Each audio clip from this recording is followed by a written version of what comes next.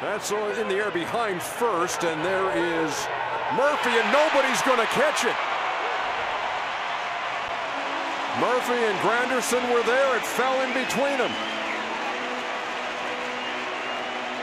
Well, you could tell on the fly ball to Granderson before that, the wind was playing with it a little bit and bringing it back and carrying it. No doubt the ball was coming coming back and going a little deeper than everyone thought. This is a play that if you're not used to playing at Wrigley Field, when the ball goes up over the roof, when it starts to come down, it'll blow back into the field. So most of the time you're taught to go to the stands and work your way back. Not here. You kind of take your time getting over there. It's going to come to you. It's almost like what a catcher does when he turns around for a pop fly. The ball comes back to him down each line.